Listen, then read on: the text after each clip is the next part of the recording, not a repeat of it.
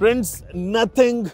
took the spotlight with the Nothing Phone 2A. It was just a design reveal. We didn't get much details about the device because the phone is yet to be launched. Uh, the launch is happening on 5th of March in the Indian market and basically it's a global launch happening in India. लेकिन यहाँ पे हमने देखा how is this new Nothing phone going to look? Uh, I mean, um,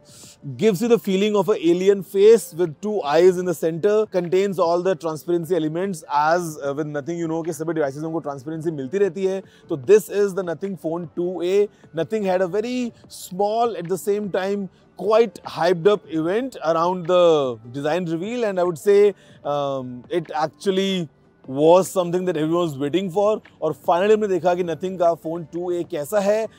In my uh, prediction, I would say uh, it would be in the range of around 25,000 rupees. और ये काफ़ी interesting mid range phone हो सकता है for all the Nothing fans who want something unique who want the the flavour of the glyph interface who want that phone में कुछ उनको एक अच्छा इंटरेस्टिंग डिज़ाइन मिल जाए एक क्लीन यूआई मिल जाए they want to try Nothing but if the phone one और phone two was beyond their reach I think phone two A is a good answer fifth को ही नथिंग अपने phone 2A के साथ neck bands pro and buds भी launch करने वाले हैं। बट एमडब्ल्यूसी पे while they kept a lot of details about the phone 2A under wraps Nothing ने एक अनबॉक्सिंग वीडियो ऑलरेडी पोस्ट करी है on the social media handles to us honestly the centred camera design looks really nice neat and symmetric glyph interface हम सबने देखा है and इस बार ट्रांसपेरेंसी के डिज़ाइन एलिमेंट्स के साथ बैक के बॉटम हाफ़ में if you squint at it you see types में द नंबर टू भी इंटीग्रेटेड है।